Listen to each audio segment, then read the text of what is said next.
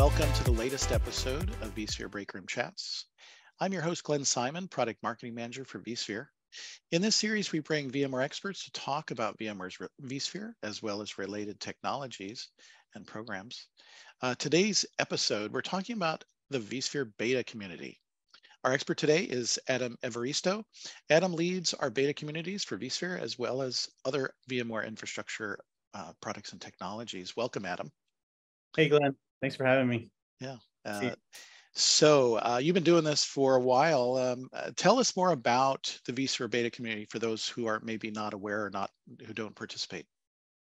Yeah, absolutely. Uh, and again, thanks for the opportunity. So vSphere beta community is VMware's official a private beta program uh, that's offered and delivered through through the communities, uh, through the VMTN communities. Um, it's listed there.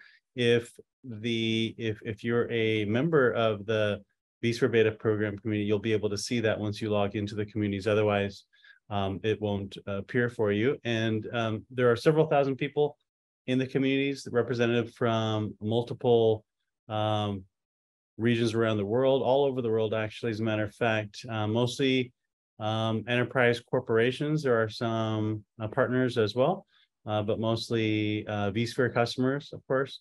Uh, we post some very good quality builds there that contain some new features and functionality uh, that the vSphere product and engineering team are working on. Uh, and we look to see, you know, to get feedback from, from the members and to share uh, what we've been working on. So it sounds like, and the fact that you're, work, we call it a community, that it's, um, it's not just you know it's it's more than just hey early access to code i guess um, can anyone join this um, join the community? That's a really, really good question. So uh, anyone can apply to join the program. We are accepting applications on a rolling basis. Um, I, I, think maybe Glenn, you could probably share, if you can, a link to join and find more information. However, we do limit it uh, to uh, corporate IT uh, members. And so um, just, just, just a, a, hint for some folks that are interested in joining. Um, one of the things we do look for is a corporate email address. So um, any of those at Gmail or at Hotmail or any of those, uh, unfortunately for us, you indicate um, that would be like a personal user, private user, and we do want to look for uh, uh, customers. Okay, yeah. So we want to verify that you're affiliated with a yeah exactly uh, yeah one of our customers. Okay, and then uh, so kind of summarize for us. You know, what are the benefits to joining the community? Why, if I if I'm not already part of the beta community, you know, is there anything other than obviously getting early access to to code, maybe early access to vSphere uh, mm-hmm. builds, you know, for future releases? Anything else other than other than that that I might enjoy as part of the community? Absolutely. Yes. So it's part of the vSphere beta program community. Like I mentioned, it is a private community.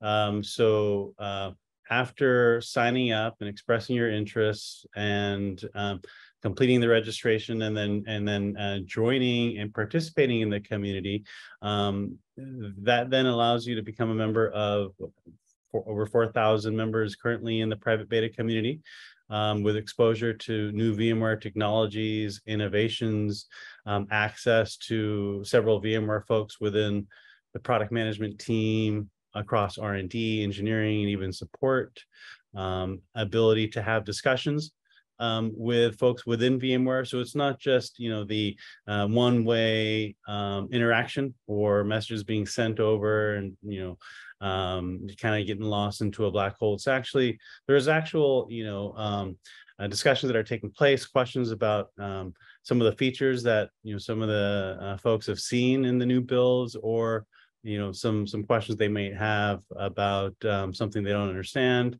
Um, but there's a there's a ton of great benefits um, you know to joining the community. That's interesting. So I could actually engage with and have discussions with other VMware customers that are part of the community I guess that's yeah.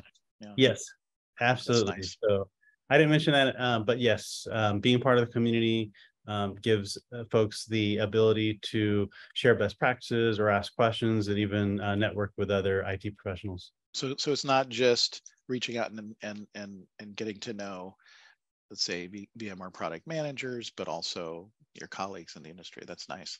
Yeah. So, um, what are uh, you know currently? So my understanding with the beta community is we don't necessarily have um, you know like the vSphere 8 beta, right? It, it's it's more of an ongoing process. So so kind of to explain how that works. Sure, thanks, Glenn. That's that's a really good question. So um, traditionally, um, some beta programs, in fact, the way that we used to run this uh, vSphere beta program in the past is where we would stand up a new beta program, for instance, for a new release um, that we're planning in the near future. And then we would stop that beta and then restart um, a new beta for another release. Um, aside from all that, what we're doing now, and we've actually launched this two years back, where we now have this continuous program. And uh, in addition to the enrollments and the recruitments that happen on an ongoing basis, uh, members of the community can expect to download and install uh, fresh new versions of the vSphere beta every couple of months or so. Um, so if, if, I look back the last couple of years, we've probably dropped, I think uh, it's about three or four you know, updated builds throughout the year. Um, and then so each one is coupled with a set of um, uh, features that we're um, sort of highlighting in per, per se uh, in an upcoming release, um, in addition to um, the description, some notes, uh, as well as some some use some some uh, test scenarios that uh, folks can try out.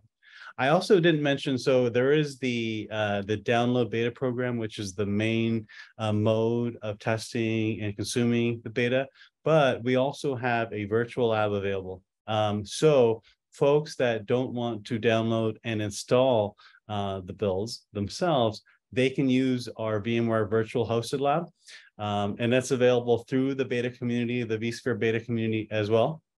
There's a link contained inside uh, where they'll be able to just launch uh, the VMware lab and then run the same tests uh, as and, and try out the new you know, features that are um, that are in there um, without having to download and install on their own that's nice because then eh, you know if i don't have a lab or exactly. for whatever reason i don't have a test bed but i want to you know take a look at the usability maybe uh, you know give some feedback around that i can still do that.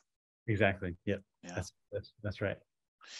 So okay um i'm interested how how can i join the community? Yeah no that's, that's good question. So um there is a blog uh, that we've recently posted um, and uh, I think we can put that down below uh, in this video. Uh, the blog will contain information, some of the stuff that we've already just uh, discussed, uh, but also have a link to the sign up form uh, that I okay. encourage folks to apply, sign up, and to join us in the beta community. Um, yeah. Okay, yeah, we'll definitely include a link uh, to that in the description, both a link to the blog as well uh, as well as a link to the sign up form. So um, thank you for that. And then before we go, anything else that uh, that you wanted to share about the beta community yes. and why people might want to join? Yeah, there, there's so many other uh, things that um, I could sort of give away or talk about.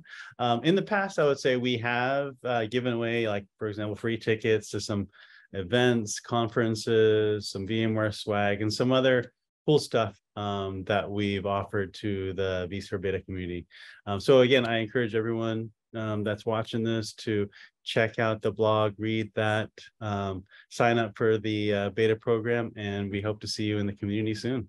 Yeah. Okay. So obviously, no promises about the future, but yeah. in the past, you know, uh, beta community members have been been uh, kind of uh, you know have been able to access some pretty cool cool things. Uh, okay. Great. Thank you, Adam. Uh, with that, that brings us to the end of this episode. Uh, thanks again, Adam, for joining us today. And, and if all of you, if you enjoyed this episode, please join us next time for another episode of Breakroom Chats. This is your host, Glenn Simon, signing off for now. Have a great day.